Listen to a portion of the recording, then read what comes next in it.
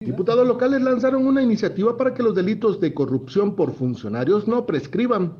Uno de los que trabajaron la iniciativa fue el legislador Quirino Velázquez, quien explicó que la gran mayoría de los delitos prescriben a los seis años, tiempo en que la administración entrante inicia con las investigaciones y realiza las denuncias, pero ya no pueden continuar con las diligencias porque generalmente los delitos prescribieron, quedando en total impunidad por lo que se pretende reforzar a la Fiscalía Anticorrupción para que se concluyan las carpetas de investigación y no queden a medias las indagatorias. Habla el diputado Quirino Velázquez. Uno de los principales obstáculos que ha manifestado el propio fiscal anticorrupción y que pues es evidente es que estos delitos tienen una prescripción.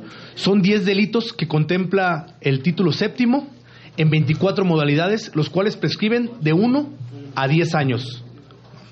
De los mismos, 16 modalidades prescriben en menos de 6 años. ¿Qué quiere decir? Cuando una persona cometa un acto de corrupción en una administración, por lo regular quien denuncia es la eh, administración inmediata siguiente.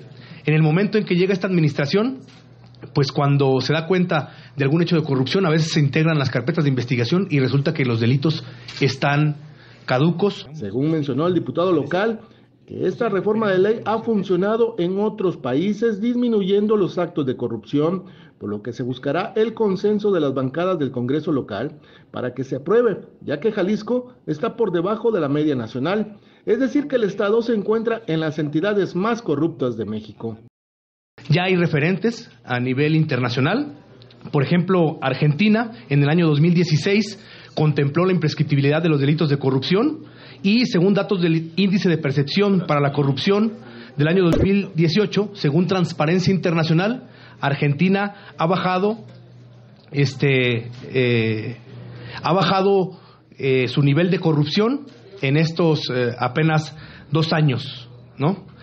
Se, encuentra en el lugar 85 de 180 países, cuando México está en el lugar 180, digo 38 de 180, 138 de 180 países.